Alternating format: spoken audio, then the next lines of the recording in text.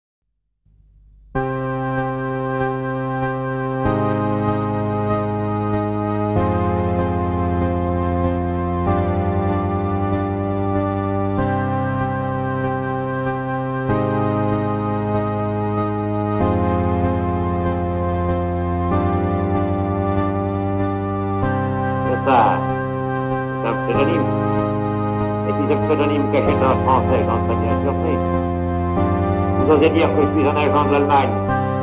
C'est que pour vous, n'être pas à la solde des envahisseurs, c'est être un agent de l'Allemagne. Ne pas défendre les Juifs. Demander à libérer des francs-maçons, c'est être un agent de l'Allemagne.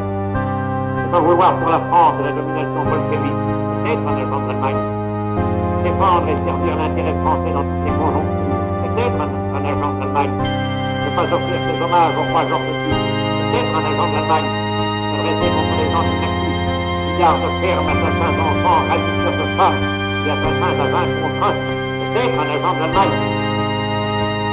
L'agent de l'Allemagne, c'est la peur de français contre de la tête de tous, vous avez la tête de personne, que vous êtes trop là pour faire le travail vous-même, Aidez-moi bien, comment dire y compris à la radio judéo-communiste, on donnait des listes de temps à abattre, méthode vive, silencieuse, les excellents du monde attaquent. Vous avez désigné ainsi à la mitraillette de vos agents des fonctionnaires, des gendarmes, des magistrats, de simples artisans, des employés, des médecins, des officiers, des musiciens, des bourgeois, des prêtres, des femmes.